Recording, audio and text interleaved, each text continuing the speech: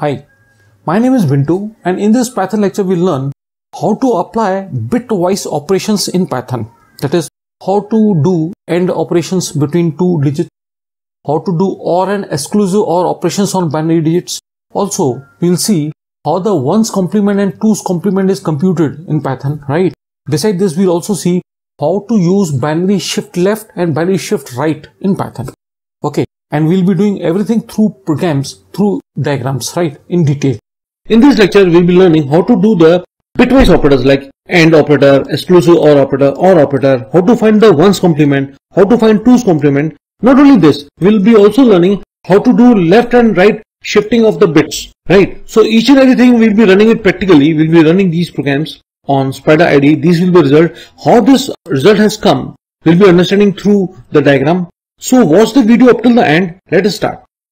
This is the program to find out how the bitwise operators work. So I'll just copy this program first. I'll make you understand each and every line. First of all, I'll make you copy this one and we'll paste it into my Spyder ID and we'll run it. See, now first let me tell you how is this working. See the result of 10 and 7 that is the end operator is 2. How? Let's understand this. See, this is 10 I assume that my register is of 8 bits.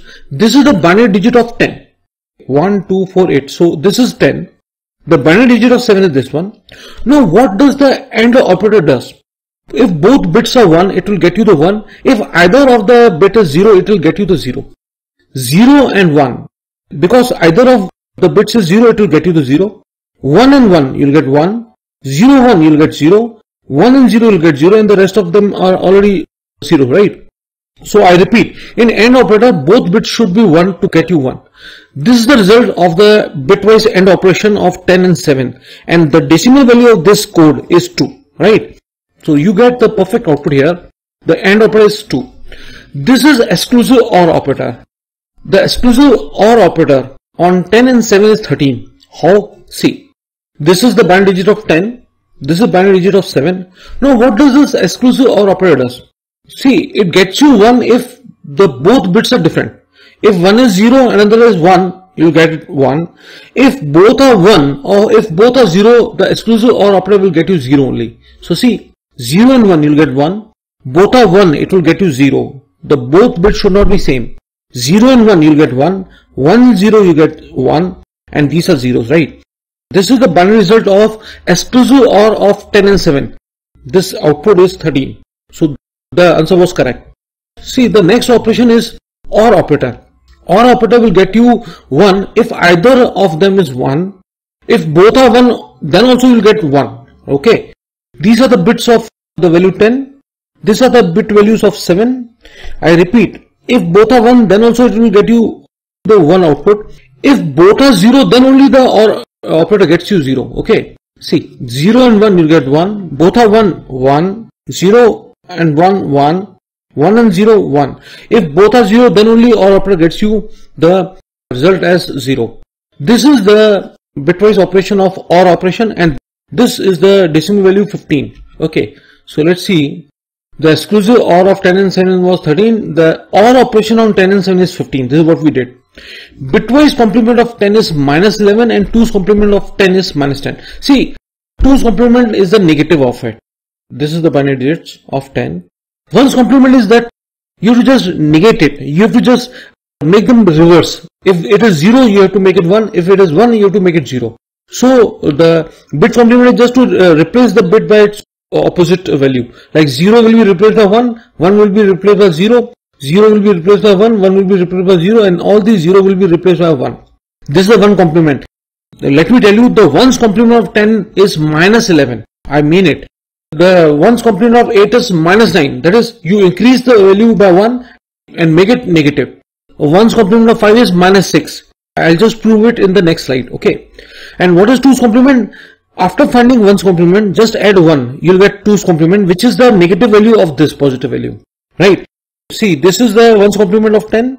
Add plus 1 to it to make it 2's complement. 1 plus 1 is 0, 1. So 0 will be here. Carried 1 will be placed over here it will come over here 1 0 this result will be minus 10 final okay I'll just prove it see first of all I have to prove that ones complement of 10 is minus 11. How? Let's see it. See, this is the binary digits of 10. Okay. Now, ones complement is to just to replace the 0 by 1 and um, 1 bit by 0. 0 is replaced by 1, 1 is replaced by 0, 0, 1, 1 is replaced by 0 and these all zeros are replaced by 1. This is minus 11. I want to prove it. How?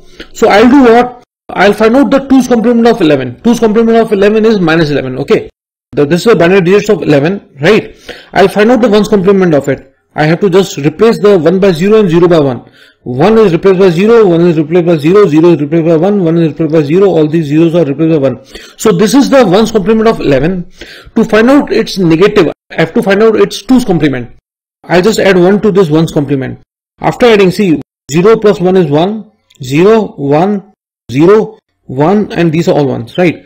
This is the 2's complement of 11. That is, this is the bits of minus 11 and this is same as the 1's complement of 10. Can you see it? So this proves that 1's complement of 10 is minus 11. Okay. This answer was correct. The bitwise complement of 10 is minus 11 and 2's complement of 10 is minus 10, right? Next program that we'll understand is left shift and right shifting of the binary digits. See what I'm doing here. I'm assigning 10 to A. When you do binary shift once, it will multiply the value by 2. If you do the binary shifting to two places, it will multiply by 4. When you do binary shift 3 times, it will multiply by 8, 2, 4, 8. So what I mean to say, if you do binary shift operation, it will multiply the digit and if you do binary shift right operation, it will divide by 2 always. Like uh, this is 10. If I do right shift by 1 digit, it will divide by 2. If I right shift by 2 digits, it will divide by 4 and so on. So what I mean to say, this is 10, it is binary shifted to 2 bits, right? So it will multiply by 4. So when 10 is multiplied by 4, the result will be 40. That will be assigned to G. When you are shifting right by 1 bit, it will divide by 2 and the result will be stored in H. So 10 divided by 2 will get you 5. So I'll just do what? I'll just run this program. See, left shifting by 2 bits has given you the result as 40. Uh, right shifting by 1 bit has given you divide by operation and you got the result as 5. How? Let's understand it. See, this is the binary digits of 10 you are shifting it by 2 bits on the left. So what will happen? This 0 will come over here, this 1 will come over here, this 0 will come over here, 1 will come over here and to the right two vacant places zeros will be added. Okay. What is the decimal equivalent of this binary digits? What you do is that write these values first. Below them write the value 2 to the power 0, 2 to the power 1, 2 to the power 2. Increase the exponent by 1 after every binary digit right? So this 0 is multiplied by 2 to the power 0. This 0 bit is multiplied by 2 to the power 1. 0 is multiplied by 2 to the power 2. 1 is multiplied by 2 to the power 3 and so on. Anything to the power 0 is 1. 0 multiplied by 1 is 0. 2 to the power 1 is 2. 2 multiplied by 0 is 0. 2 to the power 2 is 4. 4 multiplied by 0 is 0. 2 to the power 3 is 8. 8 multiplied by 1 is 8. That way, right? So this is 32. 32 multiplied by 1 is 32. Rest of them are 0. 32 plus 8 is 40. When you perform binary shift left by 2 bits, the value is multiplied by 4 and you get the result as 40. Here I am doing right shift. Okay. These are the bits of value 10. You are performing right shift by 1 bit. So this 1 will come over here. This 0 will fall down. This will vanish. This 1 has come over here. 0 has come over here. This 1 has come over here. This 0 has come over here. These three zeros have come over here and 0 is added to the leftmost bit. Now you multiply every bit by 2 to the power 0 to the power 1 and so on, right? So this 1 is multiplied by 2 to the power 0, 0 multiplied by 2 to the power 1, 1 is multiplied by 2 to the power 2 and so on. See, 2 to the power 0 is 1, 1 into 1 is 1, this is 0, leave it, 2 to the power 2 is 4, 4 into 1 is 4, the rest of them are already 0. If you add them you get value 5. So this result of binary shifting left and binary shifting right is perfectly alright. If you followed my lecture, please subscribe to my channel, write your comments, share the video with your friends and also tell me what kind of programs you want me to write. Okay, I'm waiting for your comments. Thanks for watching the video. Have a nice day.